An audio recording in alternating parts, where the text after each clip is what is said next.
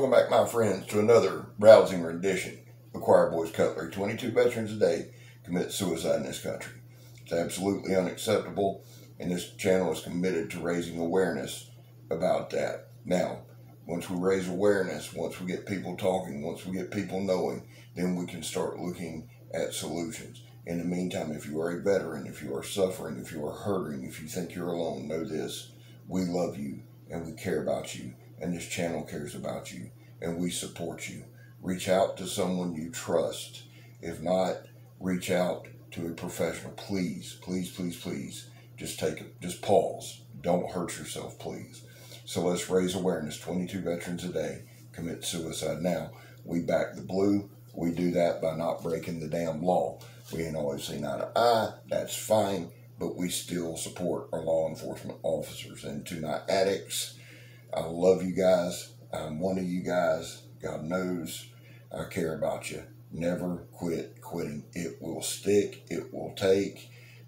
It may take a few times to quit, but never quit quitting. Keeping that fight. Now, having said all that, let me say this two things. One, thank you so, so much for everyone who has subscribed uh, over the past couple weeks. We've seen a huge jump this week, I think I've jumped 25 to 30 subscribers. Now, for me, that's huge, son. You know what I'm saying? I told y'all back there at 87 that I'd take 87 that was committed and we'd charge hell with a water pistol. I don't even know what that means. I, I make stuff up as I go, but it still holds the same. So I think we're right around that 380 mark. We're growing. At 500 subscribers, I'm going to give away a D-Bad Preacher. Dude, you don't want to miss that. I'm telling you. I'm telling you, you don't want to miss that. Now, it'll take them about 10 years to get the damn knife to me, so I'm going to go ahead and order one, have it ready. I'm just being smart. Kukri House, I love you guys very much. I'm the most impatient human being in the world, son. I watched an unboxing the other day. This old boy unboxed a Randall. Now, well, it's from last year, okay? So it's 2019.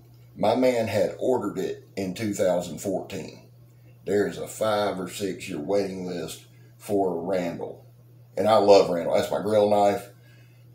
Dude, I just, I love Randall knives. But I ain't waiting five years for Randall. I, I, my son, I'll be dead in five years. Lord have mercy. I'd move, forget about it. Uh, it'd just be bad. Megan would kill me, one, because I think they start around five or six hundred bones and go up. But they're gorgeous. They're beautiful. And I love Randall knives. Love it. Y'all want to give me one? Hey, I'm right y'all. Now, I digress. Thank you to all my new subscribers. Thank you to all my old subscribers. Thank you for everybody who comments. This is a big thank you from me. I love y'all. I really do. Now, that was the first thing. I forgot the second thing because I talked too much on the first one. We'll circle. You know how I do. I'll go out here, start here, and we'll come back here. So the point of today's video is this. It's a what's in your pocket. I appreciate everybody that that responds, even when it's begrudgingly. My God, Scab, I, we got to do this again. It's the same thing, son. I don't know why we got to keep it. You know, y'all don't, you don't, you don't, you don't, you, you can just turn the video off. Cruise on by. I, I mean, if it bothers you that much, I may just start doing a what's in your pocket morning, noon, and night edition just for you. I'll tell you what, Scab, I, it's the same thing I had this morning. I don't know why, uh, whatever. So what's in your pocket? Hey, here's why I'm doing it. Somebody says, Skip, you showing off. Well, I mean, look at me. The beast from the east, son. The best in the west. Uh, you know, I'm a walking show off. I do it because it's a good way for us to communicate with each other. Let me see what you guys are carrying. Hey, there may be some guys that are thinking, man, I could carry that, or man, I need to get this, or man, it just opens dialogue. Dale King, Jimbo Knight, always bring some strong offerings. The rest of you guys, pick up, no, the rest of you guys, I love. Everybody brings good offerings. I love seeing what y'all got. And believe me, if you put a knife in there that I hadn't seen before, I Google you know what I'm saying? I'm not one of these guys that, you know, I seen the dude the other day, and I'm not going to say his name. It was on a knife video. And it was some particular, I can't remember the question, but he was like, well,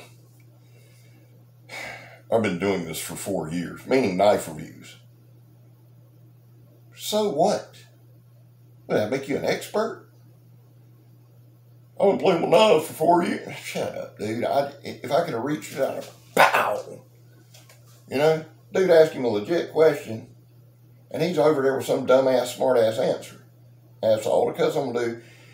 I need them curse jars, and I'm gonna do curse jar for Christmas. We're gonna raise it for for kids in need. Mine. So when I say cuss word, y'all throw a quarter in there, and then at Christmas y'all send me the, the jars. It'll be a good thing. Show your appreciation to me for all I do for you. Okay. Moving on. Now, what's in your pocket? I want you to put below what you got. It's the weekend, son. So, hey, if it's the same thing, that's cool. Richard always puts, hey, man, same old thing. He carries a Gerber. Um, had that thing for years. I, I we were messing around, talked to him last night. and I seen it's a thin knife. He uses it, so I'm appreciative uh, for him responding. Now, so everybody put what's in your pocket. If you carry a fixed blade, some guys carry a fixed blade on the weekend. Put that on there. I'm just really interested in what what you got now. I've got a little bit of different setup today because we're going to do some kayaking, you know, scab out on the water. So I'm taking my Fallkniven F1. Love this knife. This is perfect for me. Now, nine times out of 10, 99.9% of the time, I do carry my D-Bad Preacher. That's my everyday carry uh, fixed blade. I'm blessed and I'm fortunate to be able to carry a fixed blade every day. And the D-Bad Preacher is uh, that until I go kayaking and then I need something light, fast, and in a hurry, which uh, none of which describes me. But the F1 gets it done. So that's my fixed blade for today. I also have, and we know what this is going to be, the Raja. When we go kayaking, this is my big knife. This is my chopper. This one gets it done. And basically, I just ride by and cut vines in the river, stare at the sky and stuff. Um, for pocket knife for today, we're going to go. I'm going to go with the Emerson CQC7. I know y'all seen it, but this is kind of my, like I said, this is my go-to do everything knife. So it goes in my pocket. And of course, I got the knife that uh, Joseph Smith gave to me. That one goes with me every day. Um, it means a lot. It's one Eric was um, had on him when he was killed. Um, so it, it means a lot to me. Now, I carry another bag, like a dry bag with me. It's got some survival stuff. Not that we'll ever need to survive, but I got it with me. And in that bag, I always put this knife. And I've showed y'all this one a couple times. It's a Boker. Boker's kind of one of those, it's, it's a, um, some people love them, some people hate them, some people don't know. Boker's a different deal. So this is the Boker Magnum. kind of a, a, little bit of a drop point there. I love this knife. The steel is 448. Eh, eh, eh, most of the time, is that a good steel? No. But it is incredibly corrosion resistant. So we can sharpen it up real good. Like this thing's really, really sharp. And, you know, yes, you'll have to resharpen this one a good bit, but it will not rust, it will not corrode. 448. Not a super steel at all at all, but it is highly corrosion resistant. I've spent a lot of time researching that. I'm not arguing with you about it. Just for the fact checkers out there. So we got that. Now, the other knives that I carry on the way to kayak, but do not go kayaking with me, are, well, you know what, I'm going to leave this one here. This was my CQC 8. I used it for work yesterday. Went back in, reprofiled that blade again. I love this knife. It's a good knife, but I'm going to leave this one at home since we're taking the CQC7. The other one that goes, but now this, this thing does not go in the water. My Medford, love this knife, dude. I, I carry this one a lot. Now, when you carry a knife that's more than your mortgage payment, you don't want to lose it in the river, so this one will stay locked up in the car. But I do carry this knife a lot. Well, I carry it every day to get used to it. I've, I've preached this and preached this and preached this and preached this to y'all. If you haven't ever used a knife, don't carry the thing for self defense. I'm just telling you. Like, I'll carry a gun. Well, good for you. They're Wyatt Earp. Glad you do.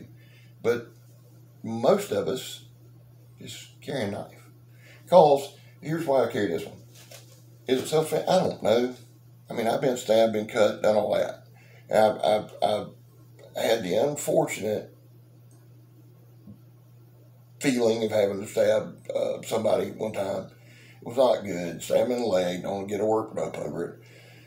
I was getting kicked to sleep under a car, son. You know, I told y'all I bounced for 20 years. And, and I know all y'all would have whipped seven or eight people at one time. And all, yeah, you know, here's the deal. Let me just, let me share this. And, and I'm, not, I'm to wrap this thing up. The whole typing tough guy thing sounds good. Okay. But you can't get scars from typing. You hear what I'm telling you? So I don't do the tough guy thing on here. I'd rather be have some, tell some funny stories and do all that that stuff. But some of you guys want to, oh, okay, you ain't fooling nobody, dude. Okay, so having said all that, I don't even know why I am all over the place this morning. I need to eat. They took some blood yesterday. took about twelve gallons. I think I lost fifteen pounds while I was trying to donate blood. But here's my Medford, just basking in the sweetness. S90V dude, man, that's a heck of a knife. I'm gonna try to balance it, and that ain't gonna work. Let's see if I can do it. Look at that.